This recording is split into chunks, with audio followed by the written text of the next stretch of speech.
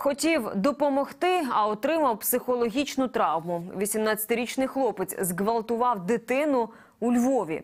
12-річний потерпілий розповів батькам про скоєне, і правоохоронці оперативно затримали підозрюваного. Яке покарання загрожує тепер злочинцю?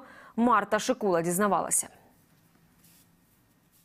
12-річний хлопчик гуляв біля будинків з однокласниками. До них підійшов незнайомець та попросив сходити з ним до городів, щоб допомогти.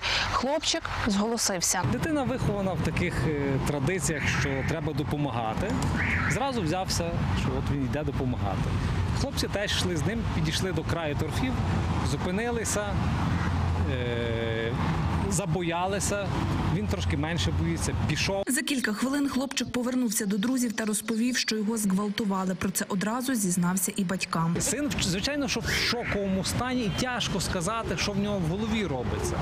Дитина, очевидно, починає е, що сталася якась дуже трагічна річ, але намагається говорити про якісь такі більш побутові веселі речі, які його цікавлять для того, щоб відволіктися.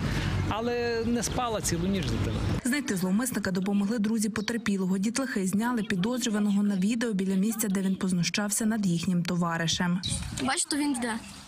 А? То він йде, бач.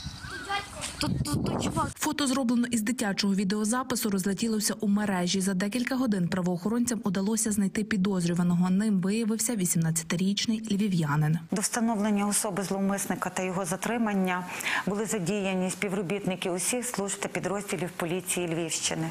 Правоохоронці вивчили відео з камер спостереження, опитали знайомих, друзів, рідних потерпілого хлопчика, а також мешканців району.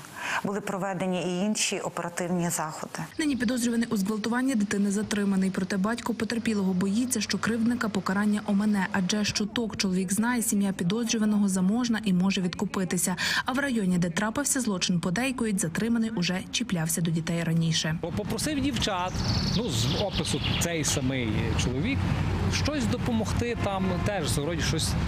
І в момент, коли вони вже йшли до нього, він подзвонив якомусь другу, каже, тут двоє дівчат, під'їжджай. Ну, дівчата, очевидно, що за- забоялися, йшли геть. Шкільні офіцери поліції кажуть, постійно нагадують дітям не спілкуватися з незнайомцями за будь-яких обставин. Навчіть дітей категорично не вступати в бесіди з незнайомими людьми.